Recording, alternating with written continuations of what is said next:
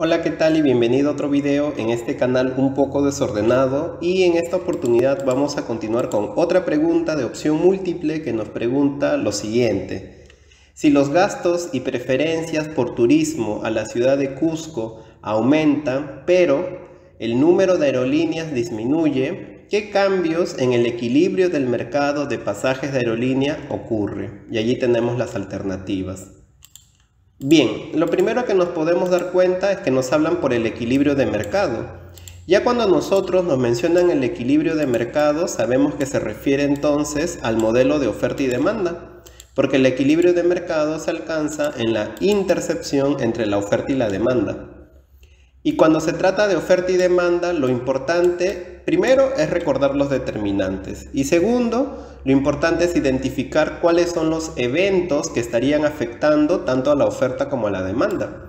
En este caso nos dicen los gustos y preferencias por turismo en la ciudad de Cusco aumentan. Ese es el primer evento, que ahora los turistas tienen mayor gusto y preferencia por ir a visitar Cusco. Y el segundo evento nos dice, sin embargo, el número de aerolíneas disminuye. Ese es otro evento. Entonces aquí tenemos dos eventos. Vamos a copiarlos aquí abajo y vamos a mencionar a qué haría mención cada uno de ellos. El primer evento que hemos identificado es un aumento en los gustos, gustos y preferencias ¿De quiénes? De los turistas, ¿no? Gustos y preferencias por turismo a la ciudad del Cusco. Aumento en los gustos y preferencias por turismo a la ciudad de Cusco. Y el segundo evento, ahorita, ahorita agrando el tamaño de la letra, el segundo evento que nosotros podemos identificar en la pregunta nos dice que hay un menor número de aerolíneas, ¿no? Disminuye el número de aerolíneas. Bien, entonces esos son los dos eventos que nosotros podemos identificar a partir del enunciado de este ejercicio. Ahora, cuando hay un aumento en los gustos y preferencias, ¿qué ocurrirá? Aquí nos dice qué ocurrirá en el mercado de pasajes de aerolínea. Si más gente tiene gustos y preferencias por ir a hacer turismo a la ciudad de Cusco, entonces habrá un aumento, aumento en la demanda de viajes aéreos, ¿no? Bueno, de pasajes de aerolínea, de pasajes, de pasajes aéreos. Entonces hay un aumento en la demanda porque justamente los gustos y preferencias son un determinante de la demanda. Si hay mejores o mayores gustos y preferencias por Cusco, entonces la gente va a querer visitar más Cusco y por lo tanto habrá una mayor demanda de pasajes aéreos. Ahora, si disminuye el número de aerolíneas, allí también estamos hablando de un determinante. Ahí el determinante, ¿cuál es? Ahí el determinante es la cantidad de empresas productoras. Cantidad de empresas productoras que a veces se le llama ofertantes oferentes, ¿no? Cualquiera de esos nombres en realidad. Entonces, ¿qué ocurre si disminuye el número de empresas productoras o el número de oferentes en el mercado? Hay una reducción de la oferta. ¿Sí? Las aerolíneas, el número de aerolíneas no afecta a la demanda, afectaría a la oferta. Los gustos y preferencias afectarían a la demanda. Hay una reducción de la oferta de pasajes, pasajes aéreos. Ya está. Pero las alternativas, ah, sí nos mencionan, ojo, sí nos mencionan qué ocurre con la demanda y la oferta. Entonces ya podríamos ir eliminando alguna de estas alternativas. Veamos entonces, vamos a comenzar a leer para ir eliminando y ya quedarnos con menos, menos opciones. Claro que la pregunta aún no termina, pero nosotros ya sabemos que la demanda aumenta y la oferta disminuye. Aumenta la demanda y aumenta la oferta. No, la oferta no aumenta por ningún motivo porque hay menos aerolíneas, la oferta sí o sí va a disminuir. Entonces la primera definitivamente no pudo ser nuestra respuesta. ¿Aumenta la demanda? Sí, y disminuye la oferta, y disminuye la oferta. Hasta allí cumple.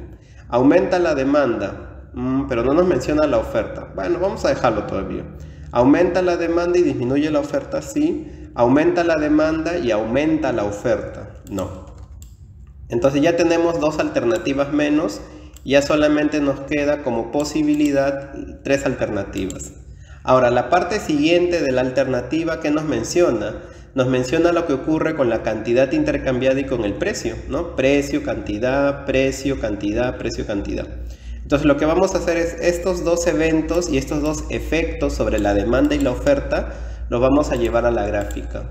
Entonces lo primero que hacemos es dibujar un plano y en este plano vamos a dibujar el mercado de pasajes de aerolínea o pasajes ah, en avión o pasajes aéreos. ¿no? Cualquiera de esos nombres ah, se refiere a lo mismo.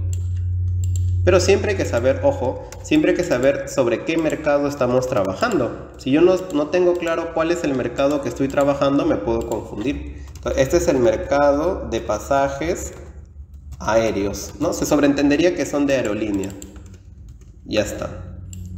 Bien, siempre que nosotros hagamos la gráfica, abajo siempre va la cantidad mayúscula demandada, díjame, intercambiada, y la cantidad la podemos expresar como Y, Y mayúscula o Q mayúscula, ¿no? Depende ya del, del autor o del libro que estemos, o del manual que estemos utilizando, pero significa lo mismo, ¿sí? Precio y cantidad. Dibujamos la oferta y la demanda inicial.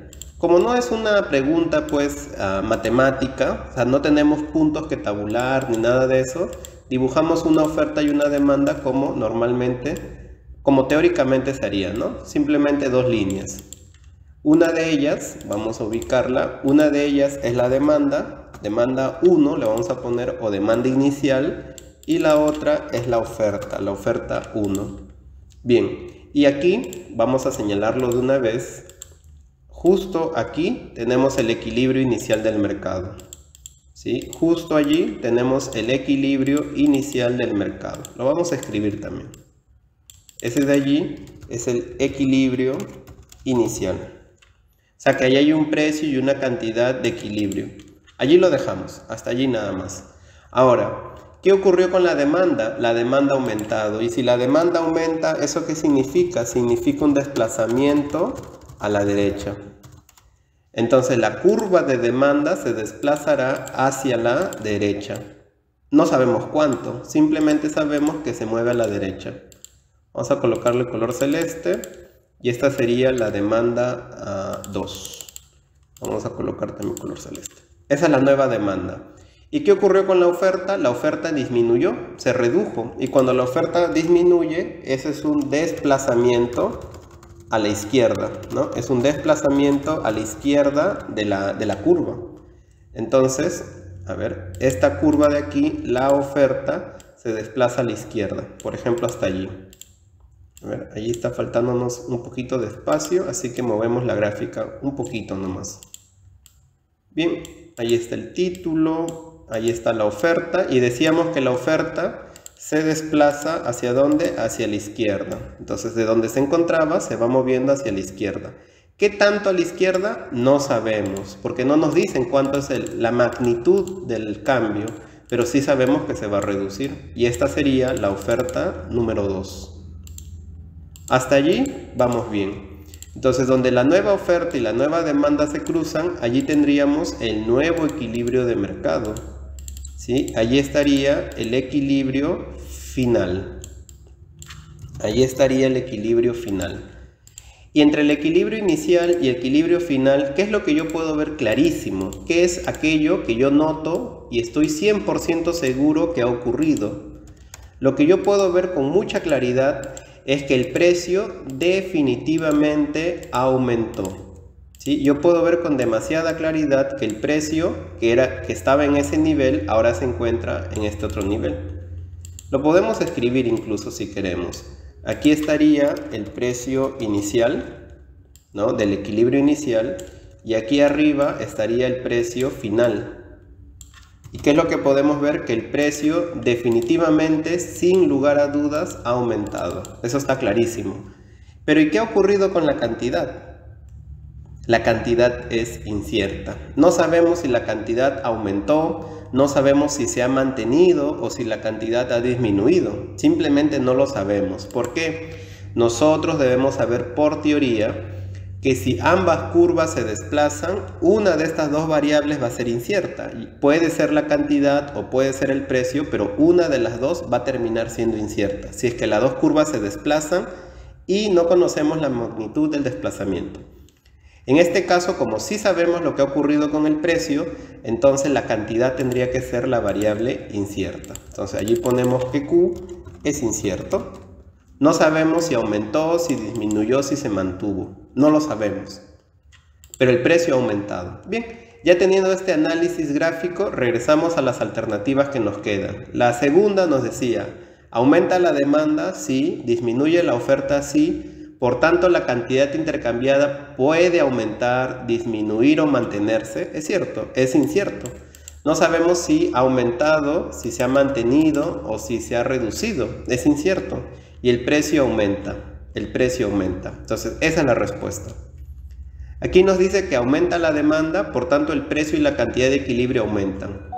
Sobre la cantidad de equilibrio no estamos de acuerdo, no sabemos si ha aumentado. Entonces, esta tercera alternativa es falsa, porque no sabemos si la cantidad de equilibrio ha aumentado o no. Y la penúltima, aumenta la demanda, sí, disminuye la oferta, sí, por tanto la cantidad intercambiada aumenta. No, la cantidad es incierta. No sabemos si ha aumentado, si ha disminuido. No lo sabemos simplemente. Y no lo vamos a poder saber tampoco. ¿Sí? Bien. Entonces, aquí sin lugar a dudas, nuestra respuesta era la segunda alternativa.